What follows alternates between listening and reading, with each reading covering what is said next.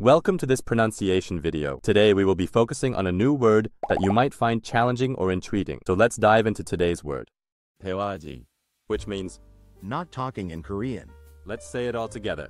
대화하지. 대화하지. 대화하지. One more time. 대화하지. 대화하지. 대화하지. Thank you for joining us on this adventure in pronunciation. Remember, language is a journey, not a destination. Keep exploring, experimenting, and expanding your linguistic horizons. We'll see you next time.